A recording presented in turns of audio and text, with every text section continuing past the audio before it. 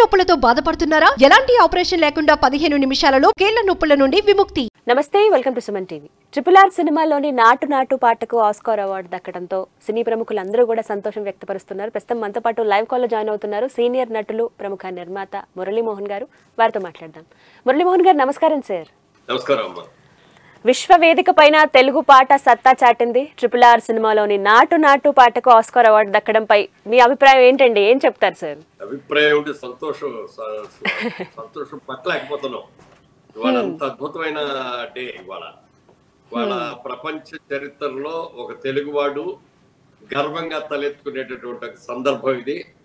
హ్మ్. ఇందులో ఈ పాటకి డెఫినెట్గా వస్తానే ఆ నమ్మకం నామినేట్ అయిన తర్వాత డెఫినెట్గా వస్తుందనే ఫీలింగ్ వచ్చింది. నూరు రూపాయలు వస్తుందని కాన్ఫిడెంట్గా ఉన్నాం. కానీ ఎక్కడో నాట్ నాట్ వన్ పర్సెంట్ చిన్న అనుమానం ఒకవేళ రాబోదేమో మనం ఇంత ఎక్స్పెక్ట్ చేస్తున్నాం ఇంత పబ్లిసిటీ జరుగుతుంది అనే భయం కూడా ఉంది కొంత.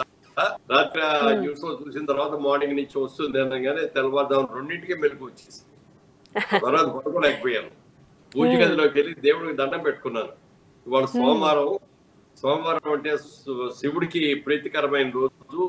నటరాజస్వామి కళలకి నాట్యానికి అన్నిటికీ కూడా గురువైన అలాంటి స్వామివారి ఆశీస్సులతో వాళ్ళ తెలుగు వాళ్ళందరూ కూడా ప్రపంచం వేదిక మీద గర్వంగా తలెత్తుకునేటటువంటి సందర్భం వస్తుందని చెప్పి దేవుడికి దండం చాలా అనుకున్నది అనుకున్నట్టుగా జరిగింది వాళ్ళ వాళ్ళ ఇప్పుడు దాకా నామినేట్ అయిన సందర్భాలు ఉన్నాయేమో కానీ అవార్డు తీసుకున్న సందర్భాలు లేవు.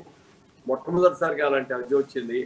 నిజంగా ఇది వాళ్ళు వచ్చరికి మీసం మెలేసి తొడగొట్టాలని కూడా ఉంది నాకైతే. కానీ మనం అందరం కూడా అలాంటి వాళ్ళకి కాదు. ఎదిగిన కొద్దీ ఒదిగి ఉండాలనే మనుషులు మనమందరం కూడా. అందుకని ఇది ఒక ఆరంభం అనుకుంటున్నాం. ఒక మొదటి మెట్టు ఎక్కామని అనుకుంటున్నాం. రాబోయే రోజుల్లో మరిన్ని మెట్లు ఎక్కాలి. ఆస్కార్లో మళ్ళీ బెస్ట్ పిక్చర్ అనే అవార్డు కూడా మనం తెచ్చుకోవాలి. అందుకు రాజమౌళి గారు ఇంకా ఇంకా కృషి చేయాలని మనస్ఫూర్తిగా కోరుకుంటున్నా. ఇంతటి విజయం ముందుగా నిర్మాత పేరు కూడా చెప్పుకోవాలి మనం అవును సార్.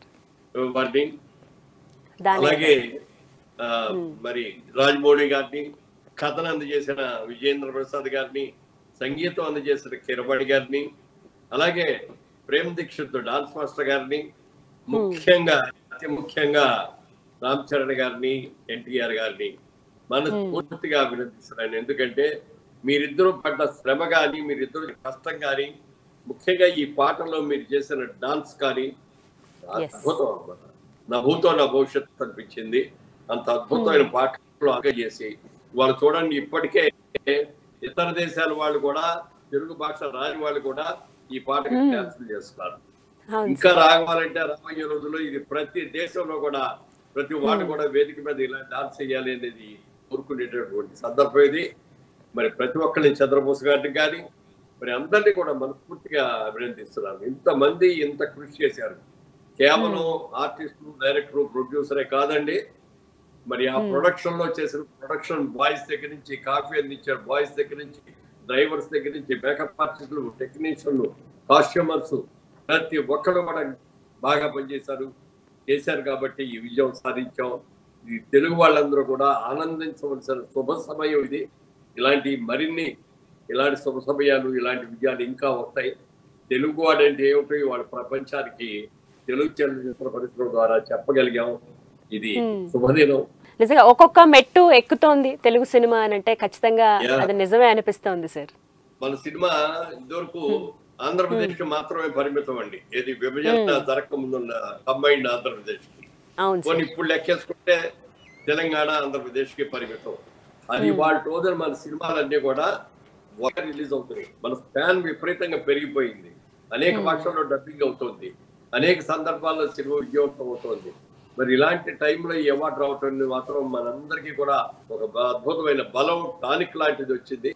ఈ టానిక్తో మనం అందరం కూడా ఇంకా ఎక్కువ ఎన్నో ఎన్నో విజయాలు సాధించాలని సార్ ఆల్రెడీ అంటే సినిమా చూసున్నాము కానీ ఇప్పుడు ఈ అవార్డు రావడంతో మళ్ళీ మళ్ళీ చూడాలనిపిస్తోంది. ప్రత్యేకించి ట్రిపుల్ ఆర్. సినిమాలో మీకు బాగా నచ్చిన సీన్ ఆర్ సాంగ్ ఏది? కూడా లేకుండా సినిమా రోజు చూస్తూనే ఉన్నాం. ఇంకా ఇంకా ఎన్ని సార్లు చూసినా ఈ పాటకి ఎంత కష్టపడ్డారు అనేది మనం చూస్తుంటే కానీ అర్థం కాదు మనకు. సార్ ఒక నటులుగా సీనియర్ మోస్ట్ యాక్టర్గా మీకు తెలుసు నటించడం అనేది అంటే ఆ కష్టం మీకు తెలుసు అందులో ఉన్న అంటే ఇంతమంది మెప్పు పొందిన తర్వాత ఆనందం ఎలా ఉంటుందో కూడా మీకు తెలుసు.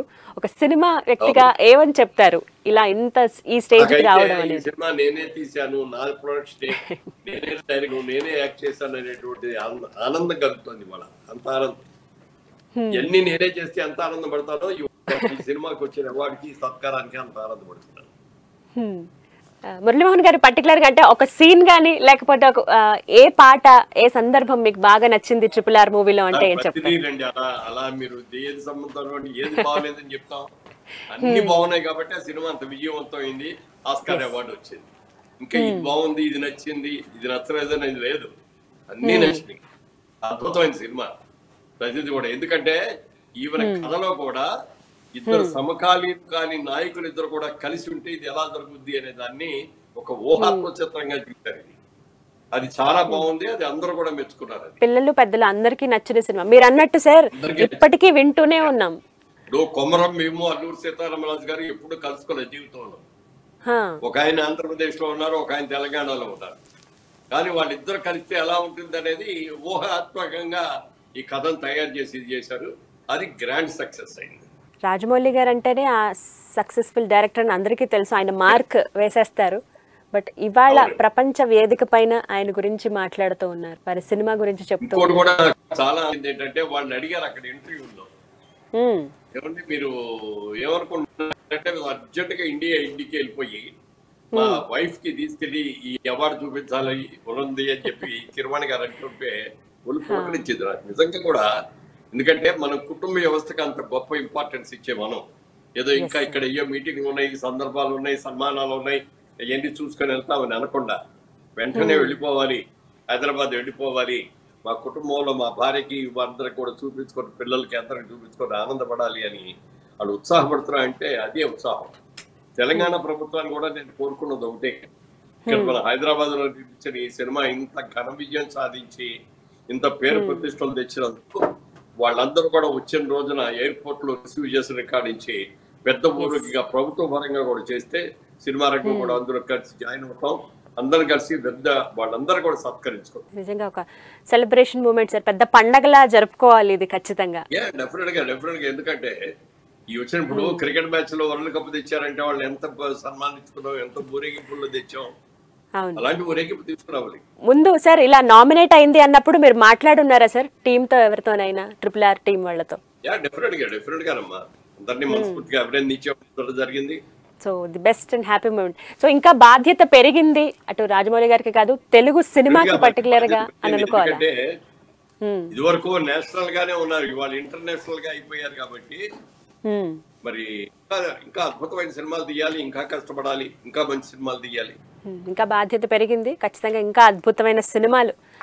అందులోనూ మరొక్కసారి విశ్వవేదిక పైన తెలుగు సినిమా ఉండాలి వినిపించాలని మనస్ఫూర్తిగా కోరుకుందాం sir. Thank you thank you so much Muralimohan గారు. మాకు. విలువైన టైం ఇచ్చారు మాట్లాడారు. మీ సంతోషాన్ని మాతో పంచుకున్నందుకు థ్యాంక్ యూ సార్. నమస్కారం అండి.